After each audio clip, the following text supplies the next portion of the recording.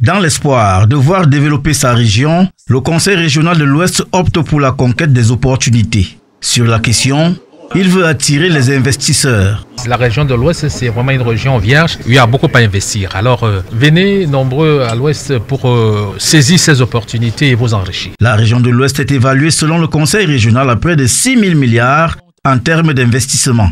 Son plan régional de développement vise donc la création des industries. Et pour cela, il y a des domaines prioritaires qui ont été ciblés. L'investissement sur l'énergie, et le tourisme. Le plus important pour nous pour le moment, comment faire pour avoir l'énergie de bonne qualité pour faire fonctionner les industries chez nous? Et vous avez entendu parler tout à l'heure de, dire que ce plan s'est arrimé à SND 30. Et dans SND 30, on parle de la transformation structurelle de l'économie camerounaise. Et cette transformation structurelle passe par la transformation de nos produits de base en produits manufacturés. Pour, par exemple, le tourisme qui est un élément important chez nous. Vous savez que la région de l'Ouest, c'est une région touristique par Ah, vous avez déjà les chefferie, le relief, et nous voulons mettre l'accent là-dessus.